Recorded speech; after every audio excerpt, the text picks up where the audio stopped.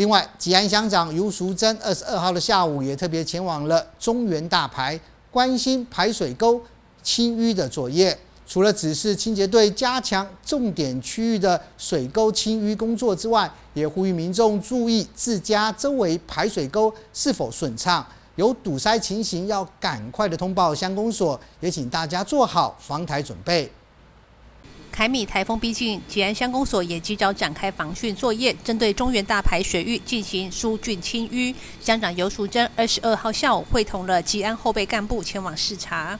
台风即将来袭，我们来进行所有的沟渠沟浚的清淤以及哦防护的作为，尤其在每次的台风来临、撤村或是准备，都有我们。啊，吉安后辈来作为一个协力，所以今天也邀请我们吉安后辈共同来看护我们所有在执行上面的一个落实工作。也要感谢花莲县政府编列一百一十一万，提供给吉安乡公所，在今年度进行二十公里长的所有的水沟防护清淤，以及啊我们的清污工作，也来做好一个呃很好的防护。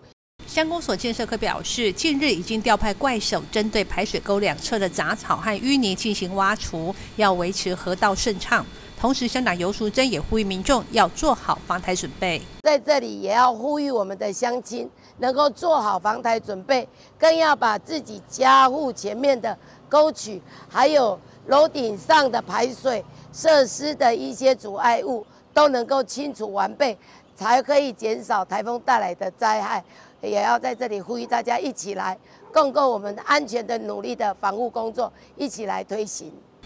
谢旅会吉安乡报道。